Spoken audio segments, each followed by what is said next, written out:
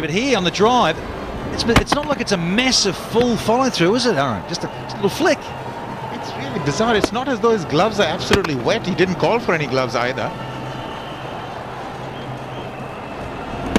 Quite amazing. It just, it just hit a, the odd part of the bat. It turned in his hand and came off.